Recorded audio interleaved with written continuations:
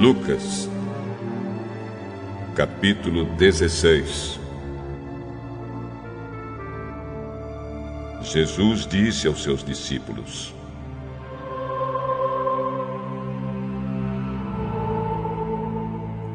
Havia um homem rico que tinha um administrador que cuidava dos seus bens. Foram dizer a esse homem que o administrador estava desperdiçando o dinheiro dele. Por isso ele o chamou e disse: Eu andei ouvindo umas coisas a respeito de você. Agora preste contas da sua administração, porque você não pode mais continuar como meu administrador. Aí o administrador pensou: O patrão está me despedindo. E agora? O que é que eu vou fazer?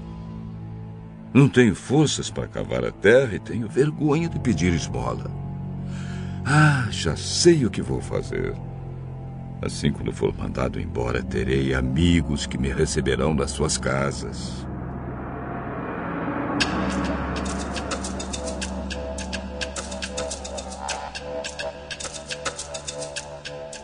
Então ele chamou todos os devedores do patrão e perguntou para o primeiro: Quanto é que você está devendo para o meu patrão? Cem barris de azeite respondeu ele. O administrador disse: Aqui está a sua conta. Sente-se e escreva 50. Para o outro, ele perguntou: E você, quanto está devendo? Mil medidas de trigo, respondeu ele. Escreva 800, mandou o administrador.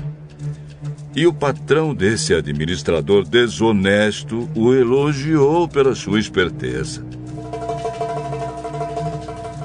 E Jesus continuou: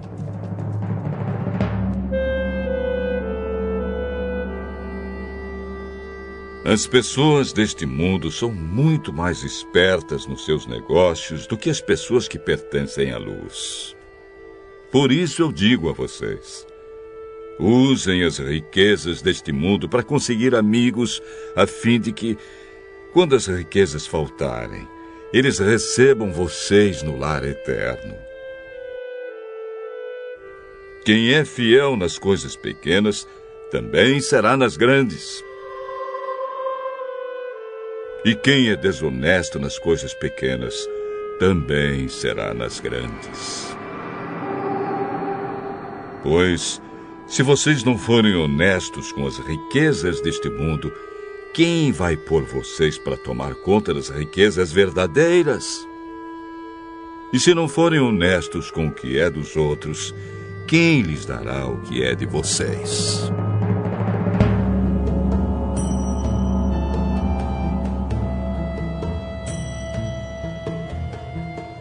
Um escravo não pode servir a dois donos ao mesmo tempo, pois vai rejeitar um e preferir o outro, ou será fiel a um e desprezará o outro.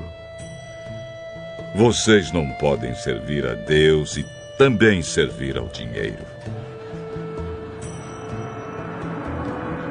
Os fariseus ouviram isso e zombaram de Jesus porque amavam o dinheiro. Então Jesus disse a eles: Para as pessoas vocês parecem bons, mas Deus conhece o coração de vocês. Pois aquilo que as pessoas acham que vale muito não vale nada para Deus. A lei de Moisés e os ensinamentos dos profetas duraram até a época de João Batista. Desde esse tempo, a boa notícia do reino de Deus está sendo anunciada e cada um se esforça para entrar nele. É mais fácil o céu e a terra desaparecerem do que ser tirado um simples assento de qualquer palavra da lei.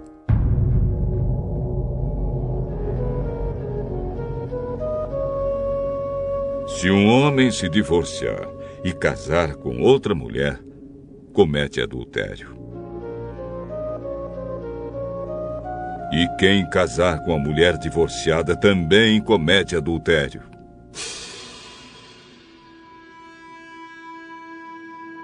Jesus continuou.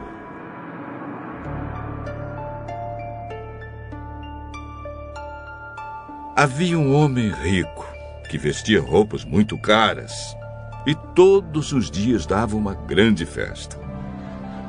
Havia também um homem pobre, chamado Lázaro, que tinha o corpo coberto de feridas e que costumavam largar perto da casa do rico.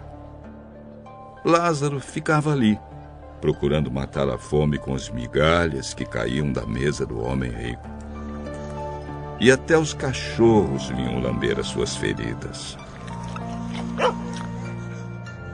O pobre morreu e foi levado pelos anjos para junto de Abraão na festa do céu. O rico também morreu e foi sepultado.